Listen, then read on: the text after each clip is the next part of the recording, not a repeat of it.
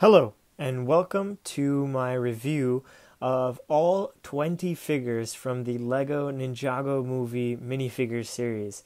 So, the first figure we're looking at right now is just Kendo Kai, and unfortunately, the staff he's holding is not completely in focus when I hold it like this, but uh, you can see a little bit better when I rotate the figure just like that.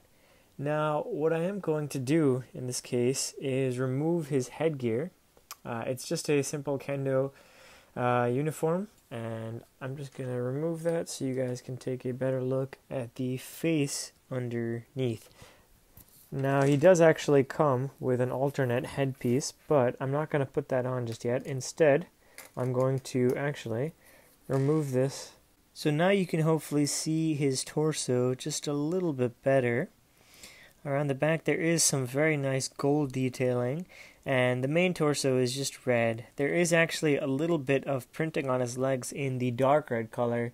It is a little bit tough to see on the camera, but they pretty much are just some diamonds in a red color.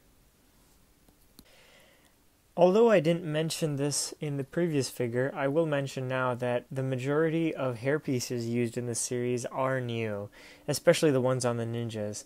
So Kai's hairpiece, Nya, Jay, Cole, uh, Lloyd, all of them have uh, new hairpieces. So that being said, in this case, we have Nya in a white uniform. Um, her accessory in this case is these wooden katanas. On the back, you can see the Wu-Cru logo and this is uh, a very cool all white uniform. Now, I did forget to show you this on Kai's face, but I will just show you the back. It does not have an alternate face in this case, and uh, there's some very, very nice gold detailing on this figure. Next up, we have one of the two Lloyd Garmadons included in this series. He is in his full ninja attire with a sword with a little tassel on the back. Again, he has that very nice, crisp printing on the back with that uh, very cool uh, pattern.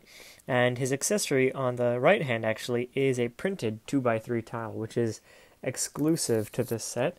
It is the blueprint for his dragon and it's uh, extremely detailed.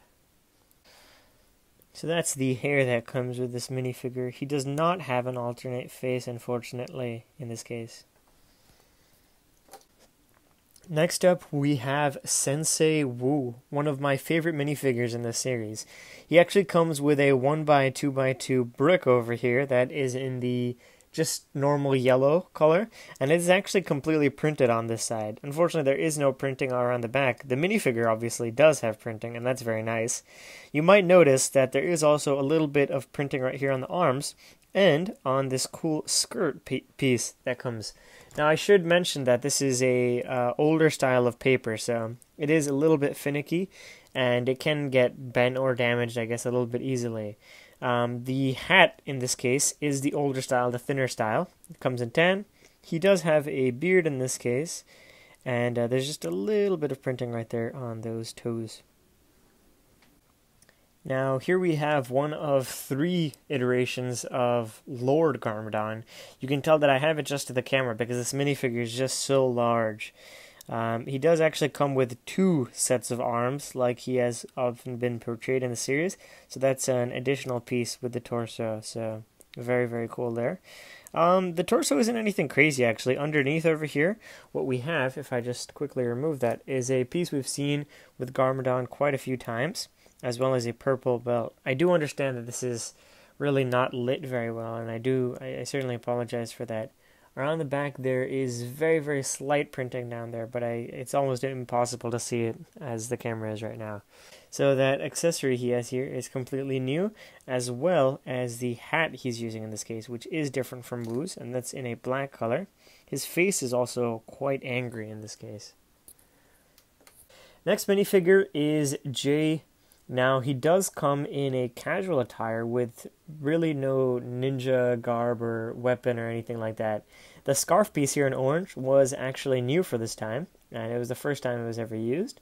Uh, again, his hairpiece is new, and the selfie stick is just such a cool inclusion. Unfortunately, since it is showing his face, it's not super usable, but it is a very clever build with a small amount of parts and nothing too complicated, actually. I will actually quickly take off his headgear and his scarf just so you can see the torso and legs just by themselves. And um, that's it for this minifigure. So here we have Lloyd again. Now, this time he is in a little bit of a casual outfit, and this is actually a dark green color. I do hope that it's not too challenging for you guys to uh, see that. His legs are actually in the black color, and there's just a little bit of printing suggesting a belt.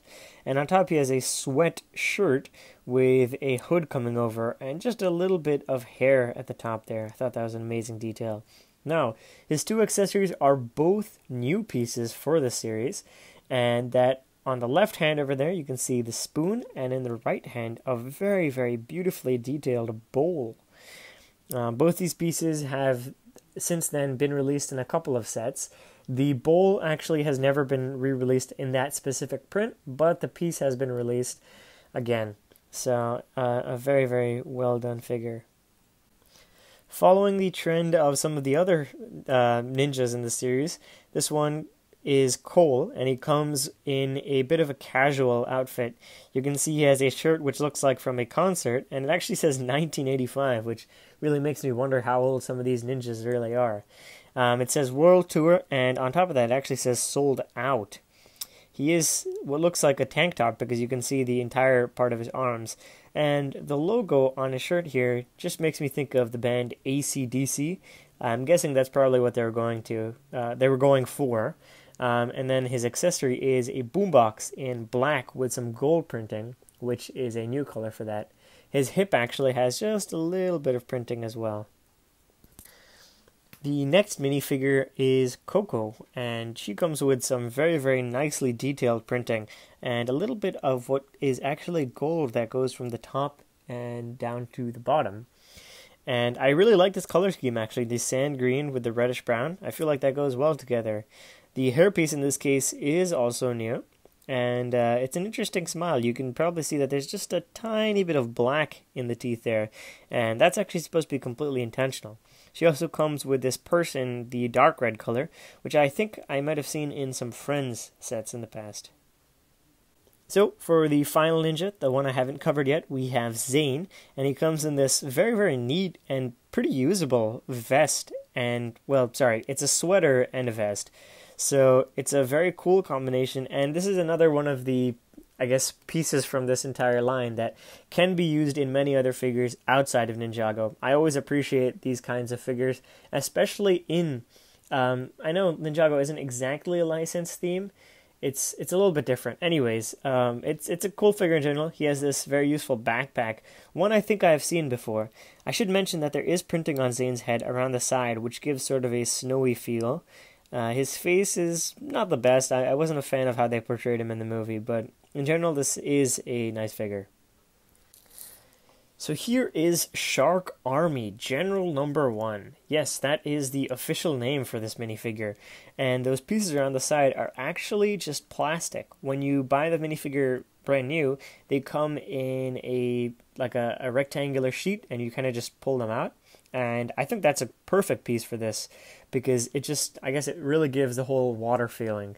Um, her accessory on the left hand here is actually a slushy, and I think that's just such a cool, such a cool usable piece. I think that almost goes for like a dollar anywhere else. And there is a ton of printing on this minifigure, very very crisp. Around the back, there's really not too much. You can see the Lego logo and that hairpiece, since this has been used quite a few times. Next up is the Shark Army Octopus. This is a definitely, I guess, a cool figure and uh, part of the whole theme of uh, animal sea sea animal shaped uh, headgear. And I think this is actually kind of usable. Like you could put a dark orange minifigure head under this and maybe add some more detailing and actually uh, call this an octopus, put it in like a zoo or something. I understand that it might not really have the right number of arms, Uh, I see five on the front and then two on the back. I'm not completely sure. Maybe I'm miscounting them. Uh, it just seems like an interesting choice. The eyes are very well done, and in general, I just like the whole shaping of it. So the minifigure definitely looks different with all his gear removed. The piece that was used for his head is completely flexible plastic, and he actually has what looks like some sort of breathing tank as well. Now you can tell he looks, yeah, he does look different. He actually has a stud shooter on the right side, and then a fish over here. Otherwise, it's a uh, fairly simple minifigure. So, just like the Shark Army octopus that preceded this, the Shark Army angler has a headpiece that can also double as the actual animal if you just put a, I guess, any sort of, even a clear stud underneath this. Um, sorry, I meant a minifigure head underneath this. So that's uh, really cool. You can see that the weapon actually, I apologize, is going out of frame, but that is a mace which is connected then to a bar and then connected to a fish. So there are three separate pieces over there. And I will quickly take off this headpiece so you can get a better look at the face. There is a scar actually there, which makes this a pretty usable face. And around the back there is very little. Finally, we have the Shark Army Great White. Now, although it's named the Great White, it looks very little like a Great White. The shark is completely differently colored, but I guess that's not too relevant. There is some incredible printing going here on the arms.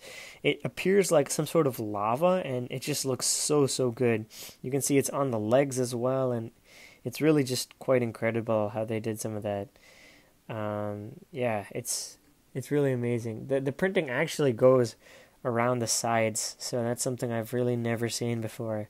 His uh, his weapon here is actually like a black fish with fire coming out, so some sort of fish thrower. And I will remove this uh, this whole helmet piece just to show you how big, comically large his eyebrows are. He's very mad as well, and he's got a uh, classic space tank back there and an amazingly detailed torso. So here is Flashback Garmadon. Just like all the other Garmadons that we have in this series especially, this does come with the two layers, with this one having the, I guess, the ridged part on the back, and another really cool thing about this is that all of the arms are dual molded. So I think his actual skin color is black, but the uh, the sleeves are supposed to be dark orange. And if I remove this camera over here, you can see the uh, I guess the visual trickery that they have done here. And uh, there's supposed to be a tie going through both those shirts. I think that's very clever how they did it. And he has a belt, just some normal pants, and uh, his accessory down here is a I guess a tourism sort of flyer or photo he has sunglasses on, his blonde hair, and then finally he just comes with a standard Lego camera. This is another of my favorites in the series just because of how usable some of the parts are. It does the exact same style as the previous minifigure, with the ridged section being on the back. It does come with a pretty standard Garmadon face with his actual proper helmet. Um, it actually also comes with a bowl, this time in sand green and a different pattern, and another one of the spoons. Now, this has some great printing on the sides of the arms. I know I am getting maybe a little bit greedy here, but I would have loved if they put some printing on the sides of the legs. I think that would have taken it up just another level altogether, but I really think it's a very cool and a very well designed torso with the volcanoes and the clouds. So this figure is actually called Gong and Guitar Rocker. I'm not completely sure where that name came from, but I will do my best to show you what the figure has. He comes with a brand new guitar here. Um, the piece is, has been used before, but the print in this case is new. There is actually a tattoo here on his left arm, which is pretty cool. He has dual molded legs and a little bit of printing on the front with a cool skull there. Um, you can see in this face uh, in this case, his face is looking like he's mid song or something. And if I remove that hairpiece, which is actually a semi soft piece, you can see that he actually comes with an alternate face. Next is a Garmadon Propulsion Laboratory Technician. I know that's a mouthful of a name, but they're usually just called the GPL Techs. Now they do come, well, this minifigure especially comes with some cool accessories. In the right hand, we just have a normal Lego mug, no printing in this case, and then a computer, and that's just a standard Lego computer. I will open it up for you guys uh, that maybe haven't seen this before.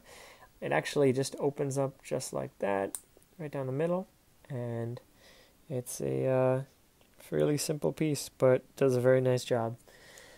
So actually, you can see that under the uh, coat, in this case, maybe a lab coat, you can see the name, which says uh, GIT. I'm not sure if that's perhaps a acronym GIT. Uh, maybe it's a Garmadon Institute or something. And uh, under that, there's actually a Batman logo, which I thought was a cool detail. The legs are dual molded, white and uh, medium nougat, with some cool printing there, and a fairly simple face and hairstyle. Next is a minifigure with a lot of potential outside of Ninjago specifically, and this is the Sushi Chef. Now, I believe this might have been one of the first uses of that interesting uh, hairpiece. Now, it looks like it is a bald figure, but really what it is, it's a two part piece with this part being molded in white and printed on with a little bit of black, and then a uh, yellow on the top. I think they also might have used it in the Pirate, which I think might have come before this. Not completely sure though. And um, yeah, so the legs are a little bit simple. It's just uh, black and white, dual molded, which ends up being useful. And there's this amazing printing around the sides. I think that's supposed to be perhaps a crayfish or shrimp, something of that sort and it comes around the front as well. And you can see that we actually have a little bit of sushi here and that is put on a one by one round brick so it looks like it's uncut. And they actually gave us a spare which is a tile that just comes like that. Uh, in his right hand he does have what i guess has been used or called a cleaver before. I'm guessing he's not going to be doing any crazy cutting but um, it is a very very nice figure for the final figure, we have the N Pop Girl. Now, this minifigure has yet another reference to another LEGO theme, with that being Unikitty, right, prominently on the shirt. There is so much going on in this figure with many, many different colors, and I guess a new print for that bear. I think that's also the first time it's uh, appeared in that color, and it always is nice to get these sorts of little, uh, I guess, toys and Lego things like that. Around the back, we have some hearts and stars. The hair looks to be dual molded, and that is the print we have. Sorry, that is a piece we saw originally in the Harley Quinn figure. Also comes with a dress piece. In this case, there's so many different colors on that. It's really very cool. And um, finally, then we have some striping down here in the middle, which is so so neat, and a couple more hearts there. Uh, in general, this is a very very cool minifigure. So, if you made it this far into the video, I'd like to thank you for sticking around. I did try to make this video a little bit shorter than the last one. I understood that it was a little bit lengthy. Uh, in general, I did like this series quite a bit. I am not usually the biggest fan of specific movie or show-based series because sometimes the the use of the figures parts, the accessories, torsos, all that stuff can be a little bit limited. I think that's not really the case in this situation. There are a lot of pieces and parts that can be used in many different scenarios. That being said, I was a little bit disappointed by the inclusion of so many of the villains. Um, I'm not saying that there shouldn't be villains in the set. I'm just saying that they did feel a little bit repetitive. I'm saying the octopus, the great white, the angler, whatever. The headpieces are definitely cool, but the rest of the torso just seems a little bit uninteresting to me. Again, just my opinion. Let me know what you guys think of the series, what your favorite part is. I think my favorite part is definitely either Lloyd or Garmadon's bowl. They're just very, very nice. Um, thanks again for checking this out, and I hope you have a great day.